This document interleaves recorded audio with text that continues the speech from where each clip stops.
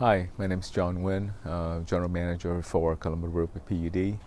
I uh, just want to let you know that uh, despite our office being closed to the public, we are still here serving you uh, during these uh, challenging times.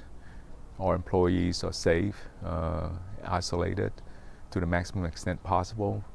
They stand ready to take your phone calls, to answer any questions that you might have about your account, your service, to fix any outages and to uh, help you bill if you need it. Uh, our goals and focus now and into the future is to uh, keep the lights on.